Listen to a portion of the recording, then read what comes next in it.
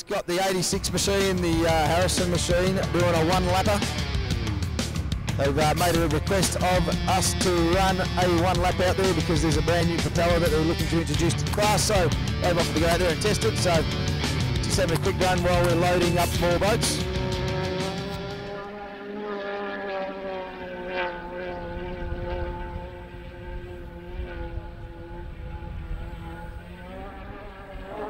So you can see as Harrow tips that little hydroplane in, all that spray coming up from the front left-hand side. These boats have a big, big blade that sits down into the water on that front left-hand corner. Um, the, uh, the dagger board, if you like. So the back of the boat is completely flat. It has a big rudder that sits just behind the boat on the outside.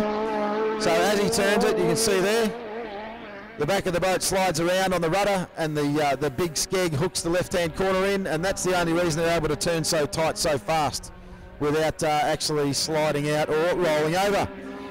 In between those two front sponsons, so there's little pointy bits out the front, the left and the right, there's a thing called a canard wing, C-A-N-A-R-D wing, and that wing is adjusted by the driver, either up or down, so it essentially it flies the front of the boat.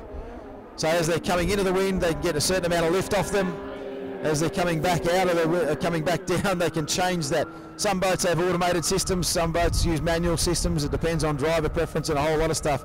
But these things are absolutely thoroughbred racehorses, and you're going to go a long way to find a better 1.6 anywhere in the world than the uh, 86 machine that uh, you're seeing out here.